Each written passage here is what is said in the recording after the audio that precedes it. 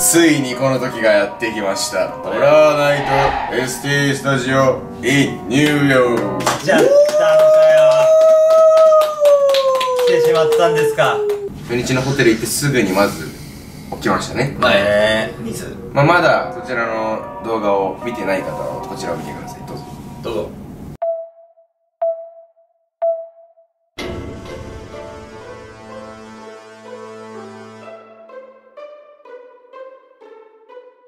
バカにされてるのすぐ分かるから。すぐわかる。すぐ分かる。うん。もしかしてこここの家来ても怪奇現象えマジで嘘でしょ？え？え？マジで言ってる？なんか水の音してえ？さすがに嘘だよ。ちゃこれめっちゃびっくりしたこれめっちゃびっくりしたえ？今何？もうほら水もうほら。水水出たよねなんか2回ぐらい流れたのね。そうだね。2回目ぐらいで俺ら気づいたと思うんだけどこれなんかそういう仕様だろうと思ってまあ思いつつも、まあ、おかしいなとは思ってたんであ一応動画回したじゃん。でその後通訳さんに聞いたらいやそんな精度ないと。え？それであやったなと。やってるやん。え結構やばいよね水かたとえ精度だったとしてもよ。だったら他のタイミングでも流れてるでしょって言われて。夜流れてない？全く流れてない。でしかも精度にしては頻度早すぎる確かどんだけ汚かったのって話。うん。もうジャーってなったらもう30秒ぐらいまたジャーだから、うん。どんだけそこ汚れてんのって話なんだ確かに。でそれが終わったらもうそうその後ピタッと止まったんですね。俺何も使ってないからねあそう。もう来てほんとすぐ。っていうのでまあこれは予想に過ぎませんでした。いやー次の日僕一人で。今度違うホテルですよ、うん。今いるとこですね。寝ようとしてたら普通に声するんですよ。女の人の声と男の人の声がちょくちょく聞こえて。っていうところであこれやばいと思って映像を回したんでこちらの映像どうぞ。おはようございます。2日目からホテル1人1部屋で別々でみんなで寝てるんですけど自分の部屋ちょくちょく声がしまして子供っぽい声というかうーん。と高めの声みたいのがして不気味だなと思ってあまりに普通にしてるんでなんか人がいるのかな外にみたいな感じなんですけども時間も時間でして結構いいホテルなんで壁がめちゃくちゃ暑いんですよ。だから多分おかしいなって今気づいてちょっと怖くて寝れなくなってきたのでカメラ回してるっていう感じです。ん？っていうか今水めっちゃ鳴ってなかったえな鳴ってますよね。今さ今鳴ってましたよね。水なんかブシューって。一応部屋映しとくんで。なんか分かる方いましたらちょっとコメントお願いします。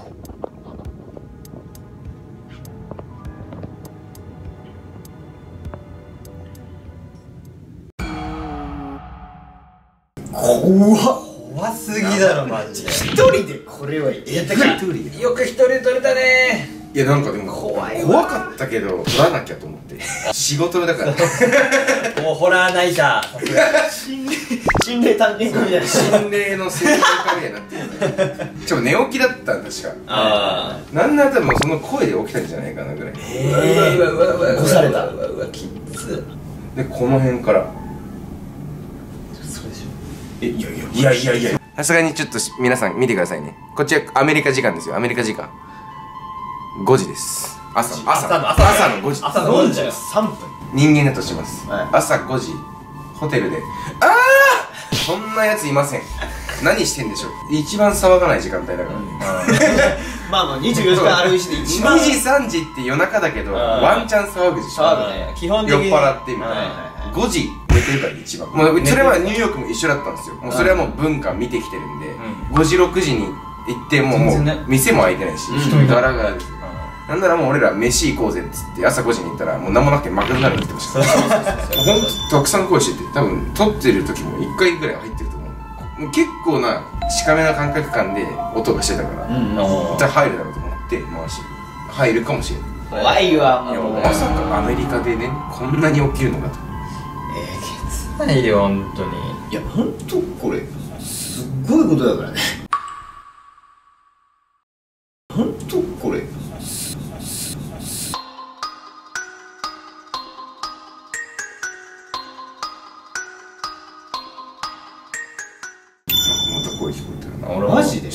気のせいと思いたかったけど、まあ制限聞こえたんだったら俺は。マジかよ。でですよ。これだけで終わってないんですね。まだあんのかよ。ついさっきのやあーあれあつ 今度男の人の声限定でうめき声がめちゃくちゃ入ってるんで。いやあれすごい。こちらの映像をどうぞ。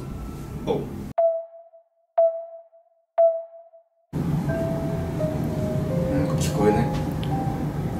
聞こえる？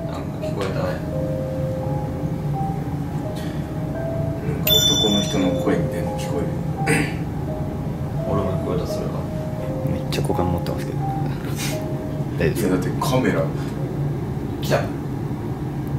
聞こえるでしょ。マジ？お前聞こえない？カメラ向けたら止ま止まったと思いや聞こえたよ。って一人で面白くなってたけど今の一回してるでしょえ？え？え？え？え？え？え？え？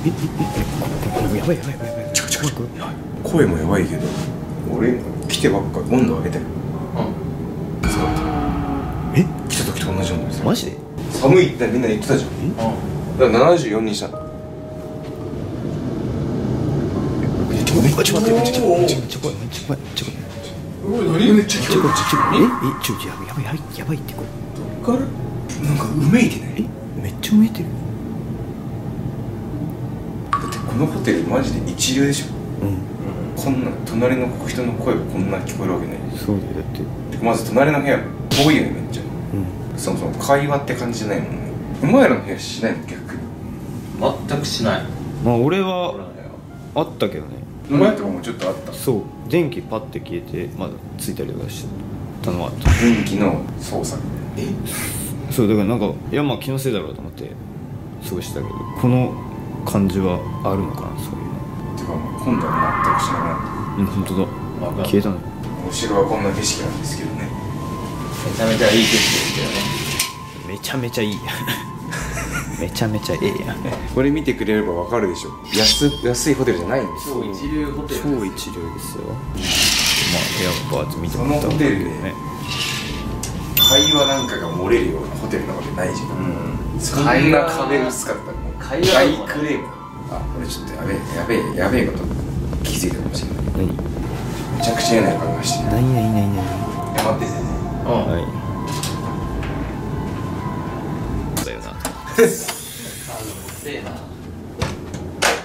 嫌な予感はよくわかりませんでした。よくわかりませんで分した。かんなかったんかどういうこと？まあ隣がみたいなこそう隣がめっちゃ遠いのかなとうん。めっちゃではないけど近くもないうん人がいる感じは全くなかっただからここで聞こえるんだったらドアの前に絶対聞こえるじゃん。うんそうだね。と思って今ドアの前にいたけど全く何の音もしなかっちょっと気持ち悪い感じ。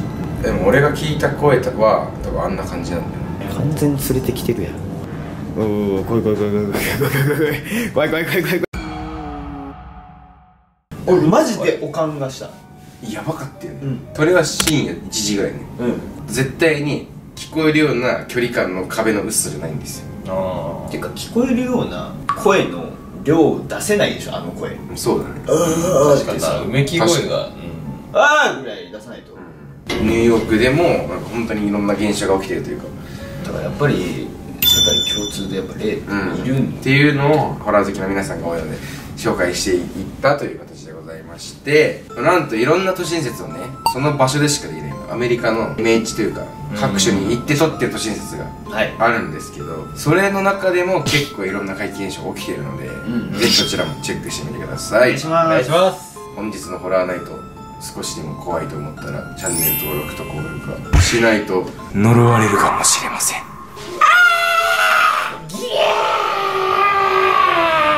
次のホラーナイトでお会いしましょう。バイビー。バイバイ。バイビー。あれ大丈夫？こんな舐め腐って最後の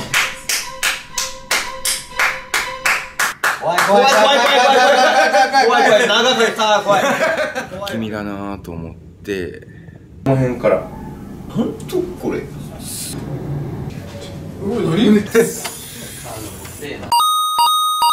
常識の壁など壊せよ星ならばこ